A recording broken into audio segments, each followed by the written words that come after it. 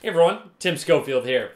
And I've been testing out the new laptop from Huawei, the MateBook X Pro, and I've been very happy with the amount of things I actually am enjoying about this laptop. So I figured I'd go ahead and make a video talking about my top five favorite things about Huawei's latest Ultrabook. The first thing I want to start with is the portability of it. It's extremely thin, extremely light, and easy to carry around. I, am even able to walk from my room here into the family room while using it because I can just hold it with one hand like so. Go ahead and use it, type anything like that, just because it is actually so light. It is an Ultrabook after all, but I'm specifically mentioning its portability because it essentially has the size of around a 13 inch Ultrabook. However, it has a 14 inch display, a 13 inch display Ultrabook, as opposed to this one having a 14 inch display very easy to segue into the next part, and that would be the display itself. It is a 3K display, 3000 by 2000 screen resolution, 100% sRGB color gamut,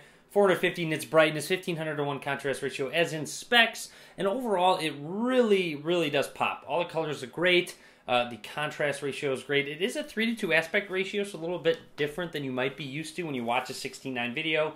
You're going to get some bars on the top and bottom. However, when you're potentially reading an article, anything like that, you're going to get a lot more content on your display from the top to the bottom. Another nice feature about the display is that it is a touch screen, so you don't just have to use the trackpad. You could go ahead and potentially get a pen input, or you can just use your finger and touch away.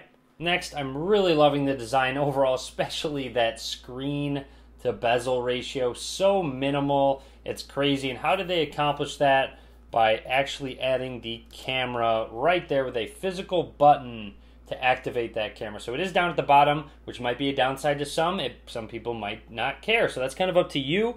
But overall, I love the aesthetics of the display when looking at it with those minimal bezels. Also, fantastic that they not only include two USB Type C slots, but made it easier to, to transition to Type C with including a USB Type A slot on the right side. So next up, something that seems very obvious, but I believe Huawei is just about the only one doing it right now, and that is integrating their fingerprint sensor into the power button in a very unique way, and it makes it very handy and quick. So I'm going to put the laptop to sleep. There I am in the reflection, but what it does is it reads my fingerprint as I press the button. So whether I'm turning on the laptop or waking it from sleep as I have, I have a lock on it.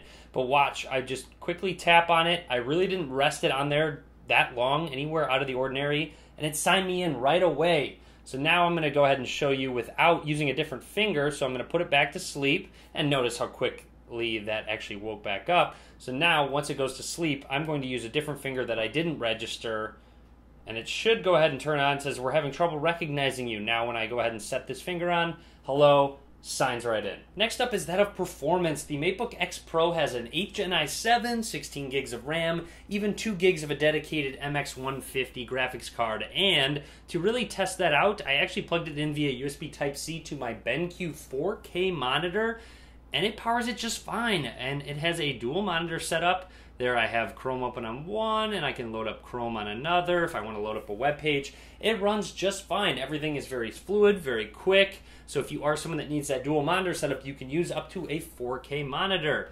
And I actually want to jump into display settings. Let me actually drag it over here. And you'll notice if I go to the second display, it is in 3840 by 2160 resolution. So as you can tell, it is actually being powered in 4K. And believe it or not, a big question that I got asked after my unboxing video was can this device run Fortnite? And the answer is actually yes, it can. Now, don't expect amazing performance out of it. I had to bump down all the settings to the bare minimum, and I get actually around 60 frames per second. It uh, I do get frame rates dropping occasionally maybe down to 45 when things get really crazy and hectic, but it is doable and you can actually get through a game. And I know I've been talking about how slim and portable this laptop is, and surprisingly enough, the next feature is that of the speakers. With the size and everything in mind, the speakers are very good quality and also get really loud. Huawei's partnered with Dolby for a quad speaker system. You got sound coming right at you.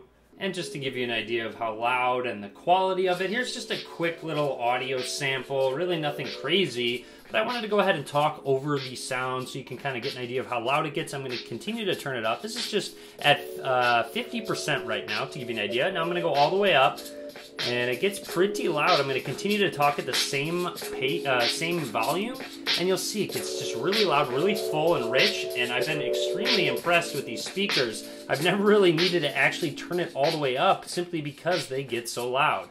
And of course, here's just one more song. We could go ahead and test it out when it hits uh, the drop here. Just a different style of music, and here it is all the way up really solid quality. So these are just all the reasons why I find this as one of the top features on such a small and slim Ultrabook. So that's just about it on the new Huawei MateBook X Pro. More to come, including a full review, so be sure to click that subscribe button.